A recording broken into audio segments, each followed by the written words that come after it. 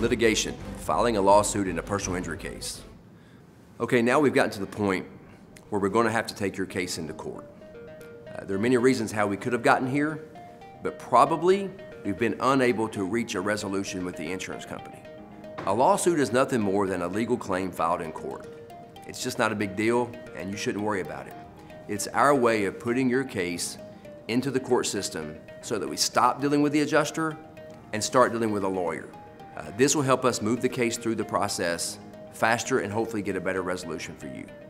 Another reason we may be filing the case is because your statute of limitations is about to expire and we need to protect that. Uh, that happens in about 25% uh, of our cases and it may be yours.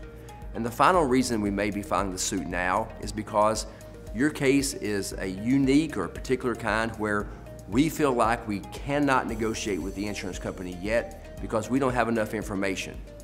Or it's a situation where we don't think the insurance company is going to take your case seriously until we make them.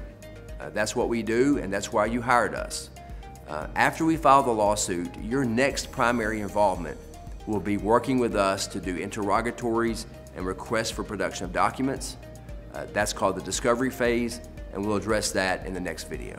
If you feel like everybody's against you and nothing's coming out right, and you've been hurt, there's somebody out there looking for you, and his name is Rocky. He's a bulldog. He's part of my family. Very, very humble man. And he won my judgment. Rocky will not back down. Rocky fought for me. Rocky will fight for you. Rocky McElhaney Law Firm. We fight for you.